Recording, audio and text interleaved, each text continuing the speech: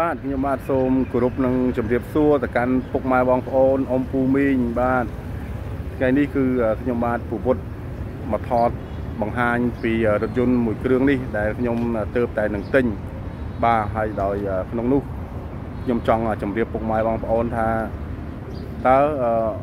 មូលហេតុអ្វី បានជាខ្ញុំចង់បានរថយន្តមួយនេះ បាទហើយទី2ទៀតតើខ្ញុំបានថវិកា ទិញរថយន្តនេះដោយរបៀបណាបាទនឹងទី3នោះគឺតើខ្ញុំចង់បានរថយន្តនេះដើម្បីអ្វីបាទអញ្ចឹងវីដេអូនេះខ្ញុំជម្រាបពុកម៉ែបងប្អូនបាទអញ្ចឹងវីដេអូនេះខ្ញុំនឹងជម្រាប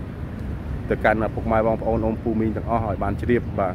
អញ្ចឹងសូមអញ្ជើញទស្សនាជាមួយខ្ញុំទាំងអស់គ្នាដូចតទៅបាទសូមអញ្ជើញ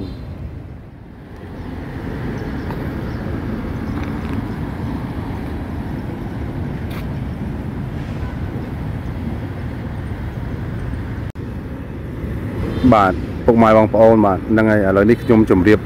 ពីគោលដៅទី1គឺថាមូលហេតុអ្វីបានជាខ្ញុំចង់បានរថយន្តមួយនេះបាទដោយសារដែលខ្ញុំចង់បានរថយន្តមួយនេះគឺខ្ញុំបានឃើញបាទបានឃើញរថយន្តនេះមានសភាពនៅស្អាតបាទនៅស្អាតដូចថាដៃជើងគ្រឿងក្រៅទឹកថ្នាំទឹកអីគឺ អឺឃើញថានៅស្អាតល្អអញ្ចឹងណាហើយតម្លៃនោះក៏សមរម្យបាទហើយមួយទៀតខ្ញុំក៏ពីមុនខ្ញុំបានទៅដេញថ្លៃយករថយន្តមួយគ្រឿងទៀតគឺម៉ាក Refor 01មួយឆ្នាំ ឆ្នាំ2001ប៉ុន្តែអ្វីដែលទៅដេញនោះគឺខ្ញុំត្រូវបានចាញ់គេបាទចាញ់គេដោយសារគេដេញបានតម្លៃលើសពីខ្ញុំគេហ៊ានដាក់ទៅដល់ តម្លៃលើសខ្ញុំចំនួន500បាទដោយគេដោយខ្ញុំមិនមានលទ្ធភាពក្នុងការទៅដេញថ្លៃដាក់បានតម្លៃថ្លៃដូចគេបងប្អូនបាទហើយខ្ញុំក៏បានមើលទៅក្នុងប្រព័ន្ធអនឡាញក៏បានឃើញរថយន្តមួយនេះដោយម្ចាស់គាត់ក៏បានបង្ហោះដើម្បីឲ្យលក់អញ្ចឹងណាបាទតាមប្រព័ន្ធ social media ហ្នឹង ខ្ញុំក៏បានឃើញក៏ខ្ញុំបាន call ទៅគាត់ហើយខ្ញុំបានទៅមើលឡានហ្នឹងទាំងយប់បាទហើយក៏ឃើញថាឡានហ្នឹងនៅស្អាតនៅអីចឹងហើយតម្លៃក៏សមរម្យដែរបាទតម្លៃធូរថ្លៃដែរអញ្ចឹងគាត់ដូចថាគាត់ក៏មានចិត្តបុតដែរដោយគាត់បាន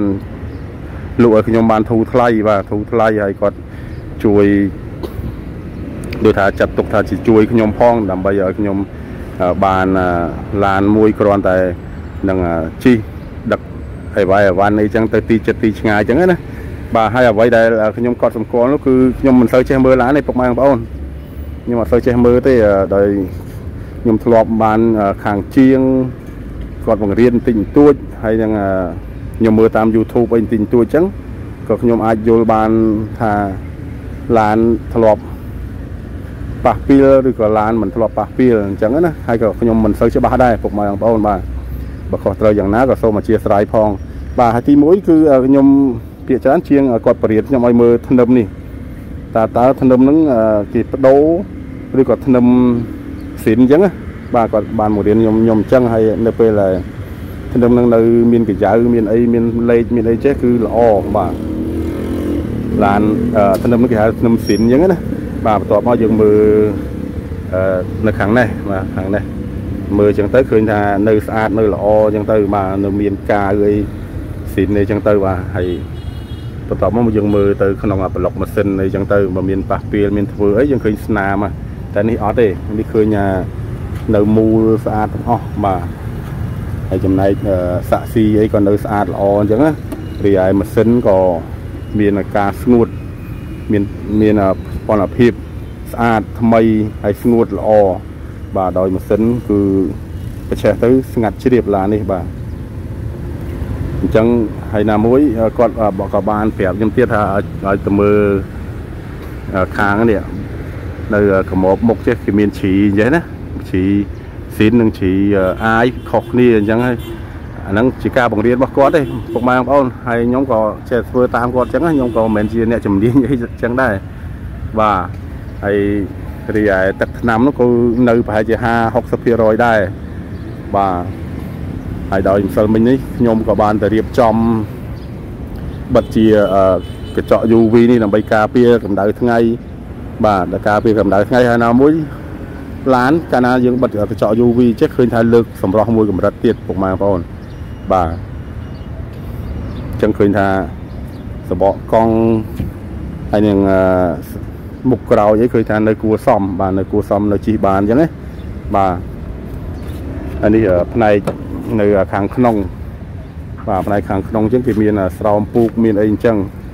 បាទឃើញថានៅស្អាតល្អអញ្ចឹងពុកម៉ែបងប្អូនបាទរីឯខ្នើយនេះខ្ញុំទៅតែទិញដែរទិញដាក់ម្សិលមិញយើងដាក់ទៅពេលយើងបើកឡានទៅផ្លូវឆ្ងាយយើងបានខ្នើយយើងផ្អែកដើម្បីឲ្យបាត់ចុកកចុកអីចឹងណាបាទ ហើយខាងនោះនៅក្រោយបាទបាទហើយនេះក៏ជាមូលហេតុទី1ដែលខ្ញុំតម្រូវឲ្យខ្ញុំចង់បានឡាននេះខ្ញុំបានបញ្ជាក់ពុកម៉ែបងប្អូននៅវីដេអូមុននឹងហើយគឺដោយសារឡាននេះគឺឆ្នាំចាស់ពិតមែនប៉ុន្តែអឺដៃជើងគ្រឿងក្រៅអីនៅល្អនៅនៅគេហៅថានៅស៊ីនណាបាទនៅស៊ីនទាំងអស់ អញ្ចឹងជាមូលហេតុដែលខ្ញុំចូលចិត្តឡាននេះហើយឆ្លាញ់ឡាននេះនឹងទិញទិញយកយកមកនេះបាទនឹងជាមូលហេតុទី1បាទ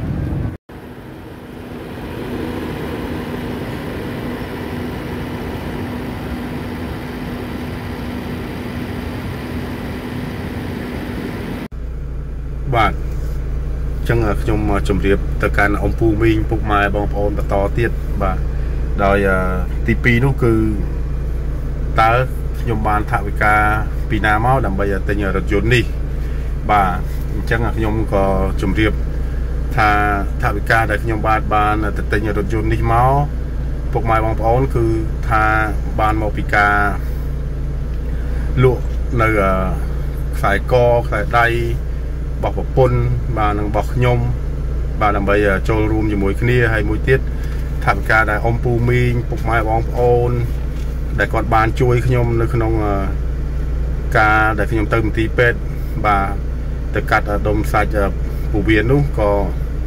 មានអ៊ំពូមីងពុកម៉ែបងប្អូនមួយចំនួន ដែលគាត់តែង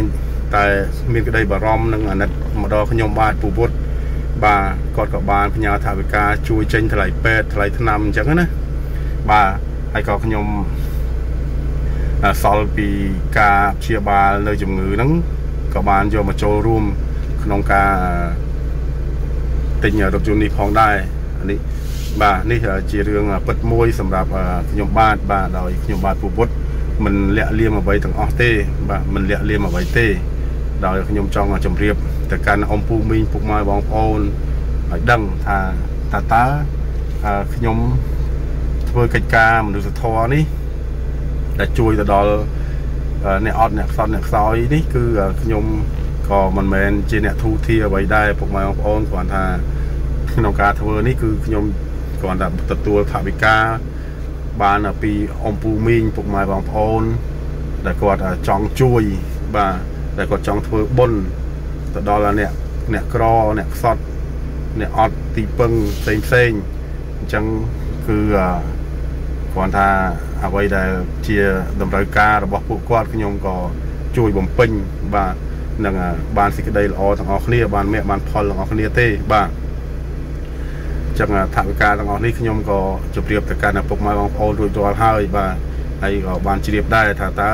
ខ្ញុំបានពុទ្ធបានថវិកាពីណាមកដើម្បីទិញរថយន្តបាទអញ្ចឹងនេះជាចម្លើយទី2បាទបាទរីឯ សំណួរទី3នោះគឺថាហេតុអ្វីបានខ្ញុំត្រូវតែទិញរថយន្តមួយនេះហើយយកមកតម្រូវការអ្វីខ្លះក្នុងការចង់បានរថយន្តមួយនេះអញ្ចឹងខ្ញុំសូមគោរពនិងជម្រាបទៅកាន់អ៊ំពូមីងពុកម៉ែបងប្អូននៅសំណួរទី3នេះគឺថាមូលហេតុដែលខ្ញុំចង់បានរថយន្តនេះគឺអ្វីដែលសំខាន់បំផុតគឺខ្ញុំបាទមានសុខភាពមិនសូវល្អបាទ គឺខ្ញុំមានការឈឺចង្កេះឈឺខ្នងអីចឹងណាมันអាចធ្វើដំណើរដល់ជិះម៉ូតូទៅទីជនបទនឹងផ្លូវឆ្ងាយបានទេពុកម៉ែបងប្អូនបាទហើយមួយទៀតនៅពេលដែលមានថាវិការឧបត្ថម្ភពីអ៊ំពូមីងពុកម៉ែបងប្អូនទាំងអស់ដែលឲ្យឲ្យខ្ញុំផ្ញើមកខ្ញុំដើម្បីឲ្យខ្ញុំទិញជាអង្គ ទិញជាគ្រឿងឧបភោគបរិភោគផ្សេងផ្សេងទៅកាន់ទីវត្តអារាមក្តីទៅជួយដល់ចាស់ជរាក្តីអ្នកអត់ទីពឹងក្តីគឺខ្ញុំមិនអាចដឹកនៅអង្គទាំងអស់នោះបានទេដោយខ្ញុំជិះម៉ូតូហើយទី1ទី2ផ្លូវឆ្ងាយទី3សុខភាពខ្ញុំអត់សូវល្អអញ្ចឹងណាហើយនេះជាជាតម្រូវការមួយដែលខ្ញុំចង់បានរថយន្តហើយម្យ៉ាងវិញទៀតគឺនៅពេលដែលពុកម៉ែបងប្អូនអឺ ដែលគាត់អញ្ជើញមកពីសហរដ្ឋអាមេរិកបាទដោយឧទាហរណ៍ដូចលោកអ៊ំដាញ៉ែលដែលគាត់បានអញ្ជើញមកពីសហរដ្ឋអាមេរិកដើម្បីមកលេងនៅស្រុកកំណើតយើងនេះគាត់បានជួលឡានគេក្នុងមួយថ្ងៃបាទក្នុងមួយសប្តាហ៍គឺ200ដុល្លារបាទដើម្បីមានមធ្យោបាយក្នុងការធ្វើដំណើរជិះ ទៅនេះទៅនោះទៅខេត្តឬក៏ទៅទទួលទៅទទួលគាត់ចេញពីពលានយុទ្ធហោអីជាដើមអញ្ចឹងខ្ញុំមានការអឺឃើញគាត់ចំណាយថវិកាច្រើនអញ្ចឹងគឺខ្ញុំមានអារម្មណ៍ថាសោកស្ដាយចំនួនគាត់ចឹងណាដោយបើសិនជាយើងមានឡានខ្លួនយើងពេលគាត់អញ្ជើញមកខ្ញុំទៅទទួលគាត់ដោយមិនអស់ថវិកាទេបាទដោយមិនអស់ថវិកាមួយរៀលទេបាទអញ្ចឹងហើយជាមូលហេតុដែលខ្ញុំចង់បានហ្នឹងគឺតម្រូវការអឺ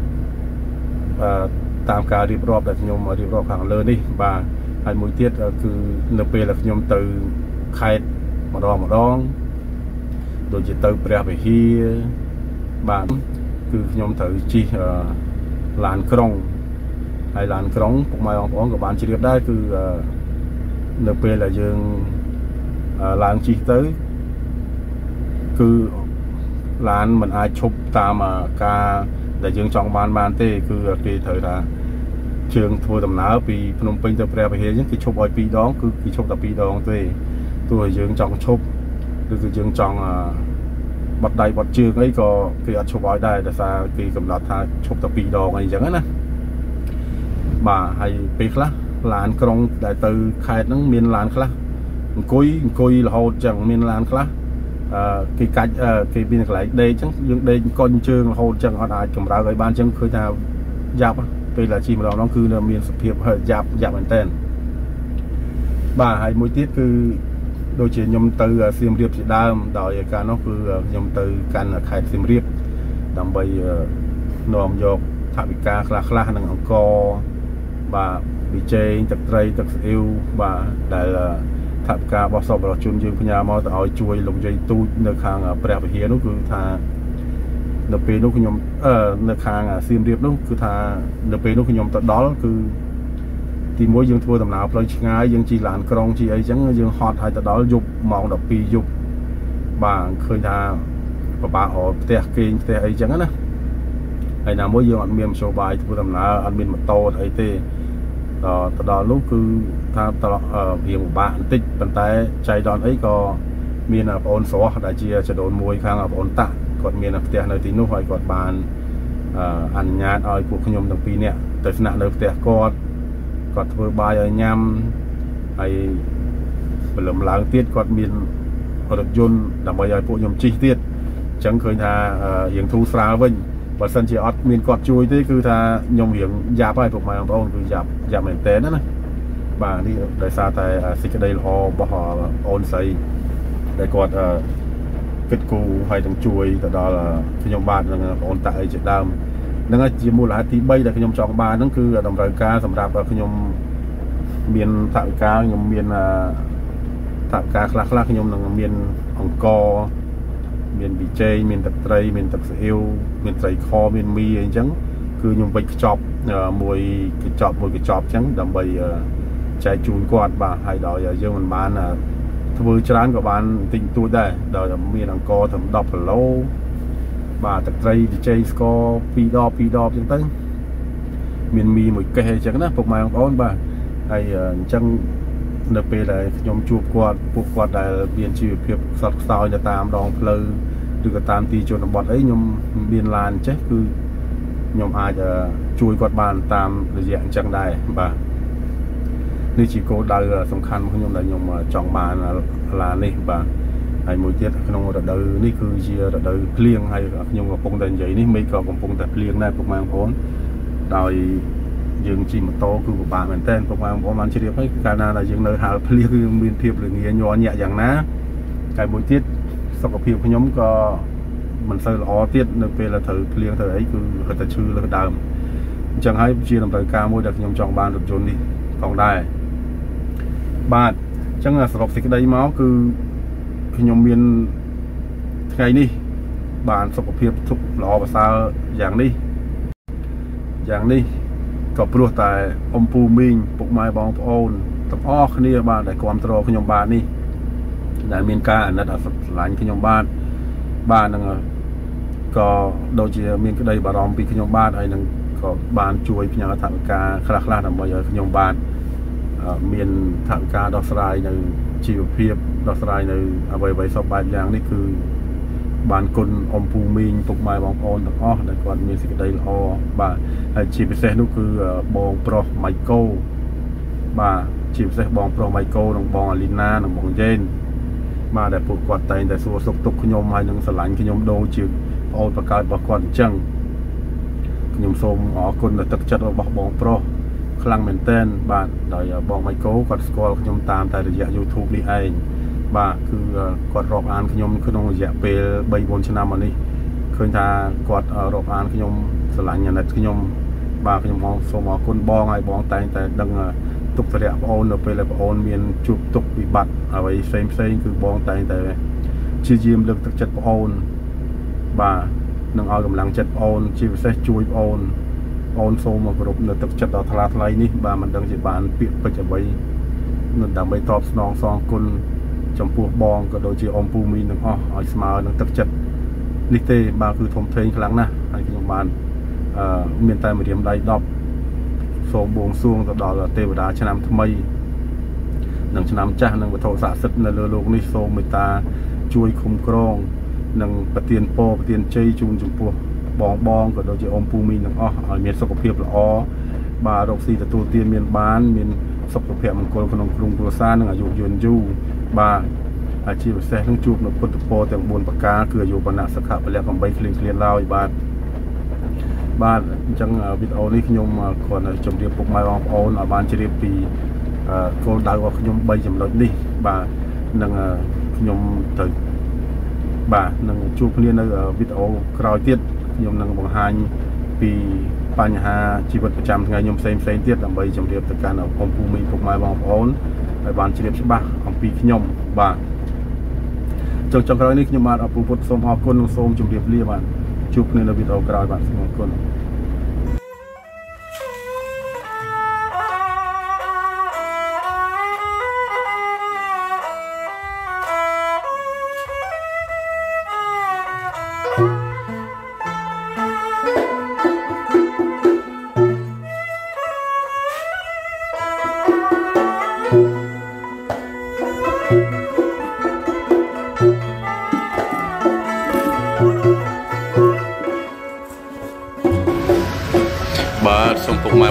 ជួយចុច Subscribe ខ្ញុំអ្នកមួយផងនិងចុចរូបកណ្ដឹងផងដើម្បីទទួលបាននៅវីដេអូថ្មីៗអំពី Channel របស់ខ្ញុំបន្តទៀតពុកម៉ែបងប្អូនបាទ